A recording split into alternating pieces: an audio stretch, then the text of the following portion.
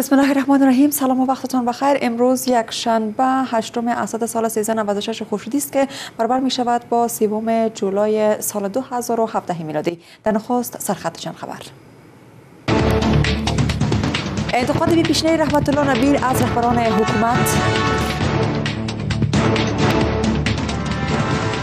در بعض موارد ما تعریف دشمن از بیرون سرحدات آوردیم به داخل دارم دادن حق نظارت به شوراهای ولایتی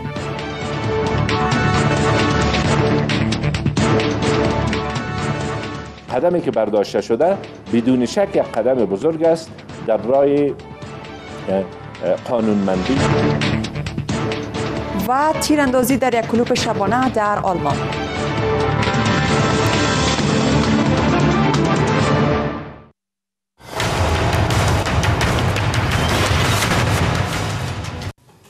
مشروع خبرها رحمت الله نبیل رئیس پیشین امنیت ملی می‌گوید حکومت وحدت ملی دچار سیاست روزمرگی و واکنشی شده است آقای نبیل مدیریت جنگ را با پراگندی پراگندگی همراه دانسته و تاکید می‌ورزد که رهبران حکومت مصروف تغییر و تبدیل افراد در کرسی های حکومتی هند. این مقام پیشین حکومت می‌گوید که رهبری حکومت به جای تضعیف حراس افغانان دنبال سرکوب یکدیگرند. گزارش از همکارم باعث حیات ببینید.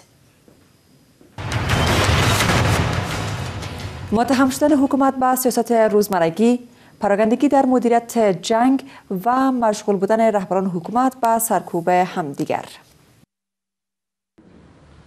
رئیس پیشین امنیت افغانستان. اکنون منتقد سیاسی سرسخت حکومت وحدت ملی به ویژه رئیس جمهور رویکرد سیاسی رئیس جمهور غنی را ناکام می داند و حکومت را فاقد برنامه راهبردی برای تغییر در بعض موارد ما همی تعریف دشمن از بیرون سرحدات آوردیم به داخل دارات خود شما مثلا ببینین امی 60 فیصد 70 فیصد حکومت وقتی حکومت سرزی زایی میشه که کی در کدام وزارت باشه رحمت الله نبیل جنگ و مدیریت آن را روبرو و پراگندگی و نبود راهبرد می‌بیند و رهبری حکومت را به جای سرکوب و حراس افغانان دنبال تضعیف یکدیگر تقریبا هغوی همیشه خپل تکتیک ته تغییر ورکړی موږ متاسفانه زیاتر تغییر و تبدیل باندې فکر کوو آقای نبیل از اطلاعات حکایت می کند که در 2015 بر رئیس جمهور غنی آن را سپرده که بر بنیاد آن پاکستان در سیاست تازه سیبودیش در صدد ایجاد تنش بین سران حکومت وحدت ملی و کشانیدن نبرد افغانستان به جنگ فرسایشی بوده است. بسیار زیاد تاکید برای ازی کردیم که ما باید برای برای دفع از برنامه وسیع و یا با یک دیدگاه استراتژیک بسازیم. متاسفانه کم در نظر گرفته شد. رحمت الله نبیل که در حکومت وحدت ملی نیز رئیس امنیت ملی بود پس از شکلگیری جریان های سیاسی ضد حکومت از درون حکومت چادر تازه سیاسی پر از نقد را در برابر حکومت وحدت ملی زیر نام محور مردم افغانستان شکل داد.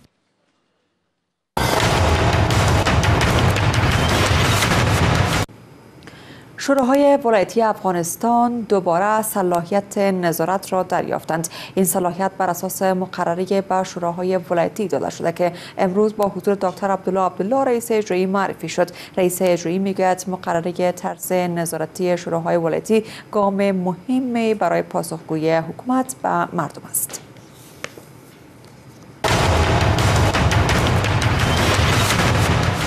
دادن صلاحیت نظارت به شوراهای ولایتی تلاش برای پاسخدهی حکومت به مردم و خوشبینی رئیس اجرایی از مقرره تازه حکومت مقرره را تصویب کرد که بر اساس آن چگونگی نظارت شوراهای ولایتی کشور بر کارکرد نهادهای دولتی مشخص می شود. رئیس اجرایی کشور این مقرره را گام مهمی در راستای پاسخگویی حکومت به مردم می داند.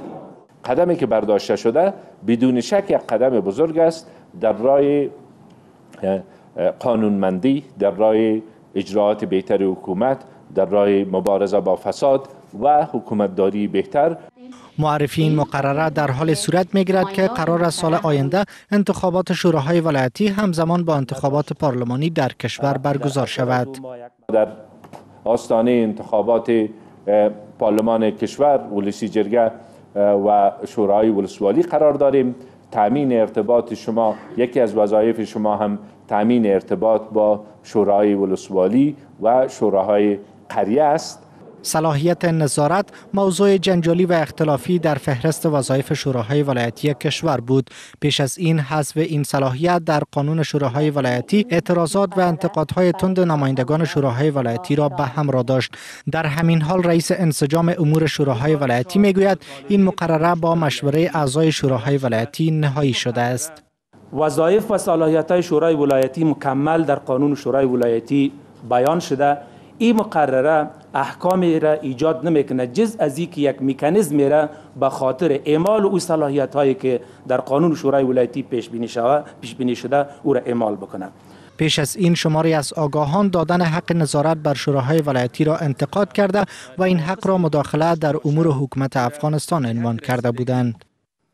حدود 150 هزار افغان به بیماری زردی در کشور مبتلا هستند و این بیماری یکی از چالش های کلان برای وزارت صحت است. وزارت صحت ها عامه می‌گوید تا هنگامی که تعهدات جهانی برای مهار این بیماری در افغانستان به گونه راستین عملی نشود دشوار خواهد بود تا این بیماری کاهش پیدا کند. رفیع صدیقی جزئیات می‌دهد.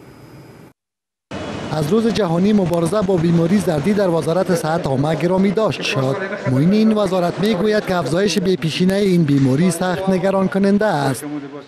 روز جهانی هپاتیت در افغانستان در حال برگزار می گردد که تخمین زده می شود در حدود یک لگ و پینجاه هزار تن نفوس عام کشور به این ویروس مصاب باشد. اینجا بیمارستان انتونی در پایتخت و یگانه بیمارستانی است که بیماران زردی برای درمان به این بیمارستان می آیند. وقت بیشیمه بودم دیگه بودم. گشته نمی‌تونستم موقع دیگه نمی‌تونستم چشمایم سیایی می‌کرد. حالا شکرم. همین سه چهار روز میشه بسیار تداوی خوب پیش میره. رنگ می سر صورت ما رو خودم چه می‌بینید چشمای می‌بینید. در نظر چشمی خود ما در رنگ ما کدام تغییرات نماده بسیار ما نگران هستیم. اما عوامل بروز بیماری زردی چی است و چگونه مردم به این بیماری مبتلا می شوند؟ توسط سرنج انتقال می شود توسط مسائل جنسی یا انتقال می شود و یا ترانسفیوژن خون که از یک انسان به انسان دیگر سرد می کند و خصوصا در عصر جدید مهمترین چیزی که در جامعه ما باید باشند افزول صحی سلمانی هایی که در بازار کار می کنند که باید سلمان هایی که کار می کنند باید یا کنترل از طرف طب محیطی کنترل شوند که مسابقه بینه باشند با این حال سازمان صحی جهان می‌گوید که میزان بیماری زردی در جهان رقم درشت را نشان می‌دهد و در سالهای پسین بیش از 23 میلیون انسان مبتلا به بیماری زردی شدند. رئیس جمهور غنی متین بیک رئیس جدید اداره مستقل ارگانهای محل را به کارمندان این اداره معرفی کرد. رئیس جمهور غنی در هنگام معرفی متین بیک به عنوان رئیس اداره مستقل ارگانهای محل حضور جوانان را در حکومت نشانه از های اثرگذار در راستای حکومتداری خوب و آبادی کشور عنوان کرد. آقای غنی می‌گوید ارگانهای محل نقش مهم را در کشور دارد و رهبری خوب از این اداره می‌تواند تغییر در وضعیت کشور کشور ایجاد کند. ادامه خبرها در آریانا نیوز. اما وقفه کوتاه در آریانا. رضا رفعت که در آزمون کانکور کشور جایگاه نخست را گرفته است می‌گوید فقر و بیچارگی خانوادهاش سبب شد تا درس بخواند و این جایگاه را کسب کند. پدر رضا صفاکار شهرداری کابل است که با هفت عضو خانوادهاش در خانه کهنه کرایی زندگی می کند لیدا نیازی جزیات می دهد. می‌گویند گنج در ویرانه است. شاید کمتر کسی تصور کند که از این کلبه ویرانه اول نمره کنکور براید رضا رفعت با هیچ امکانات در گوشه این خانواده درس خوان تا آرزوهای پدر فقیرش را برآورده سازد. رضا روزانه قالین بافت مکتب رفت و تنها چهار ساعت در شب خوابید تا به آرزوهایش برسد. این جوان تا اکنون نه موبایل دارد و نه هم دسترسی به شبکه های اجتماعی مانند فیسبوک.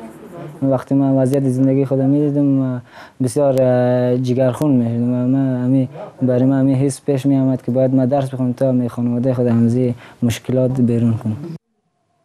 مادر رضا با آنکه از وضعیت بد اقتصادی شکایت دارد اما با آن هم از موفقیت پسرش خرسند است.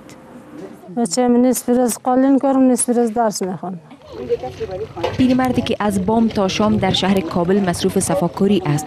با حقوق 6000 افغانی در ماه. شاید تصور نمی کرد که روز پسرش در میان هزاران داوطلب کانکور جایگاه نخست را از آن خود کند. هفت نفر نانخور هستیم. با تلاش از بچه ها که در خانه کار می‌کرد یک سه هزار یا چهار هزار در قالین اینا کار می‌کرد هی شد یک سر و دیلیچ رضا می‌گوید برای کسب موفقیت باید هدفی در زندگی داشت. بعض جوان هستند که بهانه های بسیار زیاد داره برای که درس نمی‌خونه مثلا مشکلات اقتصادی. هیچ وقت مشکلات منابع اقتصادی نمی‌تونه از راه یک تحصیل یک دانشجو شد رضا به همه جوانان کشور پیام می‌دهد که در هر شرایط درس بخوانند تا این وطن آباد شود. ریاست آبرسانی می‌گوید تا سه سال آینده برای ده هزار خانواده در شهر کابل امکان دسترسی به آب آشامیدنی صحی را مساعد خواهد کرد. این برنامه در ناحیه چهارم و پنجم شهر کابل تطبیق خواهد شد.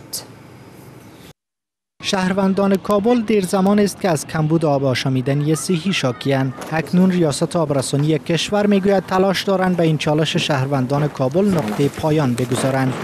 سلام این پروژه تنها برای از نیست که همین ده هزار فامیل رو آب بدیم ما برای از طریق از این پروژه. یقینا که یکی از جمله پروژه های سپورتر برنامه بعدی ما هم خواهد بود. رئیس عمومی آبرسانی تاکید می‌ورزد که هزینه این برنامه 100 هزار دلار آمریکایی بوده که از کمک های بلاعوض اداره انکشافی ایالات متحده آمریکا پرداخته خواهد شد. این فاز در قسمت وسطی هست فاز دومی است. فاز اول از این که کوچکتر از این بود ما شروع کردیم. و فاز سوم فاز دوم lot بعدی از این هم انشالله ان قریب کار از آغاز میشه و بخش سومی از این هم به تدارکات هست روند تدارکاتی از ادامه داره و همه این پروژه خوشبختانه از کمک هایی که پیشتر می اشاره کردم بالای وضع است که انشالله ان قریب شروع بشه. قرار است آب این پروژه از جاهای تولیدی آب که در منطقه بگرامی حفر می شود تامین شود و از آنجا به ذخایری که در منطقه وزیر محمد اکبرخان شهر کابل ساخته می شود انتقال یابد و پس از آن برای خانواده ها توزیع گردد. تا لحظات بعد هم بیننده رویدادهای خارجی باشید.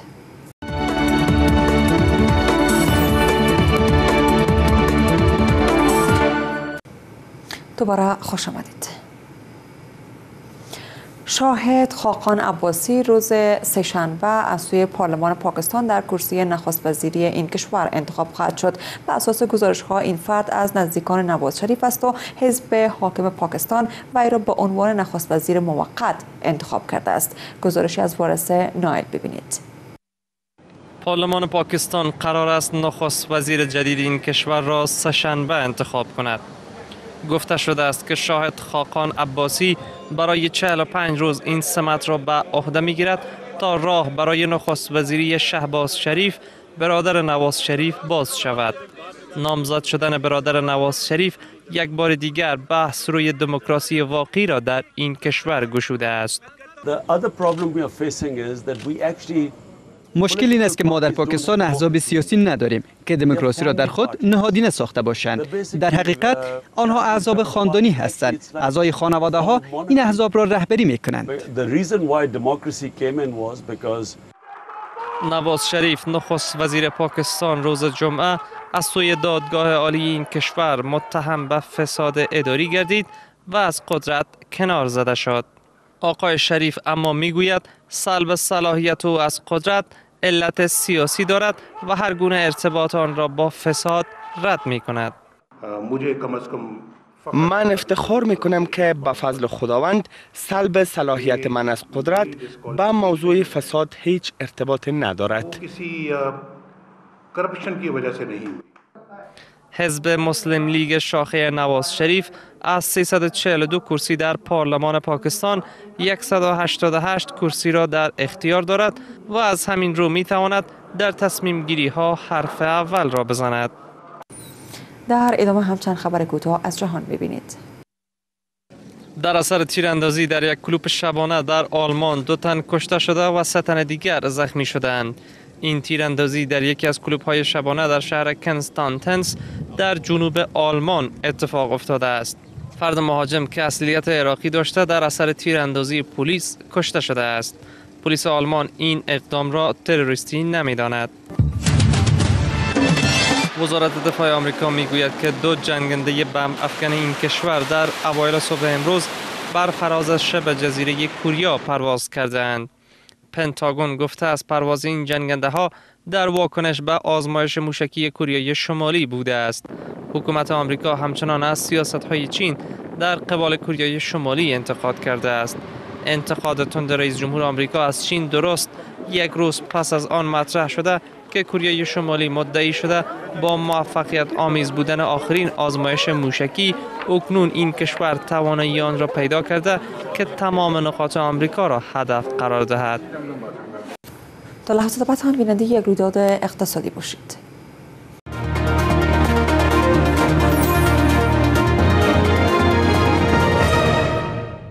دوباره خوش آمدید و حال هم توجه کنیم به یک رویداد اقتصادی.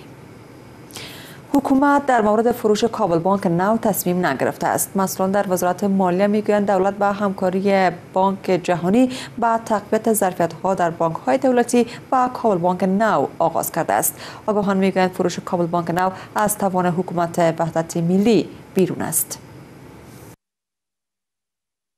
حکومت به همکاری بانک جهانی در صدد بلند بردن ظرفیت های بانک های دولتی و کابل بانک نو است. محمد آقا کوهستانی رئیس عمومی خزاین وزارت مالیه می گوید هر چند سال گذشته روند خصوصی سازی کابل بانک نو پیشرفت هایی داشت و یک شرکت با آمادگی برای سرمایه گذاری یک میلیارد دلاری برنده رقابت هم شد اما پس از بررسی بانک مرکزی افغانستان این شرکت هم نتوانست کابل بانک نو را بخرد. ارتباط می‌گیره برای پالیسی های کلان دولت چیزی که مربوط به وزارت مالیه است. وزارت مالیه و کمک بانک جهانی حالا ما زیادتر توجه ما سر ظرفیت سازی بانک هستند اما آگاهان می‌گویند در مسئله کابل بانک نو دست های نیرومند منطقی و خارجی دخیل است به باور آنان حکومت اختیار فروش این بانک را ندارد. در حقیقت حوادث سیاسی باعث میشه که کابل بانک فروخته نشه. این دفعه حوادث سیاسی حوادث های سیاسی نه در درون افغانستان بلکه در سطح دنیا کار میشه و در حقیقت نمی بایکوت کردن اساسی یک قدرت با قدرت دیگه می‌زنه و در حقیقت نقص ما می‌کنیم. مسئله فروش کابل بانک نو شش ماه پیش از سوی وزارت مالیه مطرح شد و کار آن پیش رفت. اما بانک مرکزی افغانستان این روند را متوقف کرد. و گفته وزارت مالیه مشکلات مالی این بانک حل شده و اکنون تمام معیارهای بانکی را تکمیل کرده است. در ادامه هم توجه کنین به نرخ اسعار. یک دلار امریکایی 68 افغانی و 40 پول یک یورو 80 افغانی و 10 پول یک پوند انگلیسی 89 افغانی و 30 پول یک درهم امارات 18 افغانی و 60 پول هزار تومان ایرانی 17 افغانی و 80 پول و هزار کلدار پاکستانی 631 افغانی.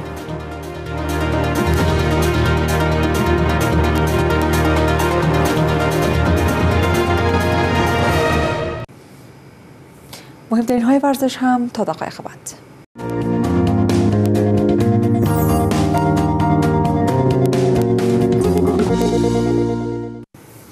دوباره خوش آمدید. تغییرات گسترده در تشکیلات برد کرکت افغانستان ایجاد خواهد شد. مسئولان برد کرکت در نشست تاکید کردند که با تصویب شدن اساسنامه این اداره برنامه های سودمندی را تا پایان فصل سال 2017 برای گسترش کرکت در سراسر کشور و نگه داشتن اعتبار برد کرکت افغانستان در نزد شورای کرکت جهانی در کشور پیاده خواهند کرد. عبیدالله انوری جزئیات می‌دهد. برنامه هایی که قرار است تا پایان سال 2017 میلادی عملی شود. ایجاد تغییرات گسترده در تشکیلات برد کرکت برگزاری لیگ برتر افغانستان یا APL در امارات ایجاد بنیاد مالی برای بازیکنان بازنشسته آغاز کار ساخت یک میدان معیاری کرکت با هزینه 9 میلیون دلار در کابل به اجاره دادن تمامی ورزشگاه های کرکت به سکتورهای خصوصی به منظور حفاظت بهتر برگزاری دو series بین المللی تیم ملی کرکت کشور با یکی از تیم های پرقدرت جهان و برگزاری نخستین بازی چهار روزه ملی پوشان کرکت افغانستان با یکی از کشورهای عضو دائمی شورای جهانی کرکت تا پایان سال روان میلادی.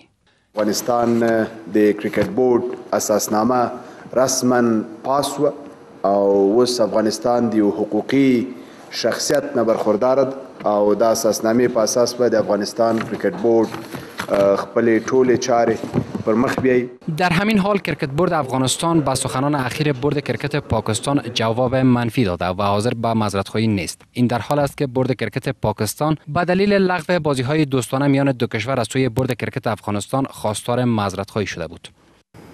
تیم ملی بسکتبال با ویلچر بانوان معلول افغانستان با کسب جام قهرمانی به کارشان در رقابت‌های قهرمانی آسیا پایان داد. ملی پوشان بسکتبال با ولچر بانوان معلول کشورمان امروز در دیدار نهایی این پیکارها با نتیجه 65 بر 25 تایلند را شکست دادند و جام قهرمانی این رقابت‌ها را بالای سر بردند. این ملی پوشان بسکتبال با ولچر بانوان معلول کشور با کسب چهار پیروزی پی هم توانستند جام قهرمانی این رقابت‌ها را برای افغانستان رقم بزنند. در پایان هم بیننده وضعیت هوای کشور باشید.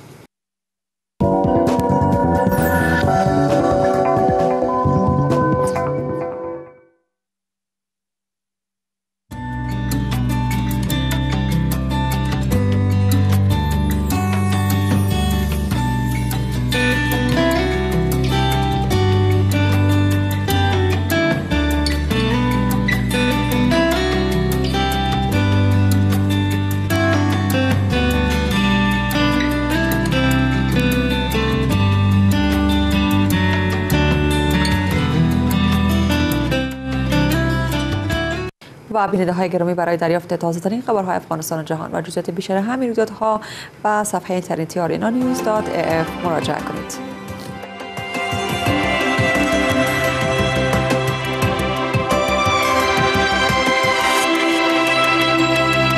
از شما هم خبرهای ساعت آریانا نیوز سپاس گذارم شب همه شما خوش.